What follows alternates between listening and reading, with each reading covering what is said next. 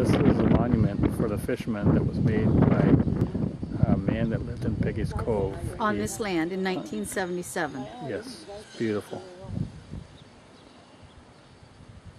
What a breathtaking place. I've never seen anything like this place.